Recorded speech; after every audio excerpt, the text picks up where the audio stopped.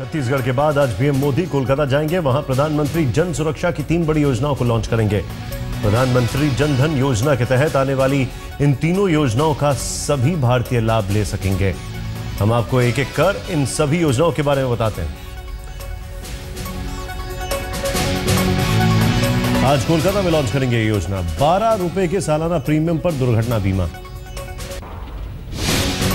18 से 70 साल के लोगों के लिए योजना।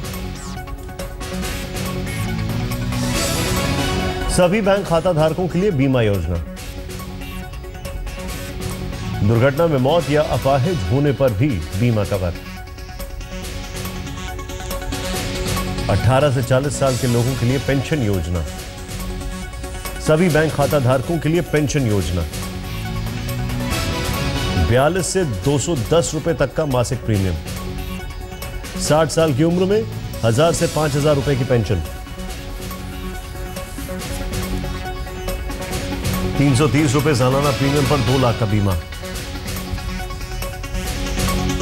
18 से 50 साल के लोगों के लिए। सभी बैंक खाता धारकों के लिए बीमा योजना।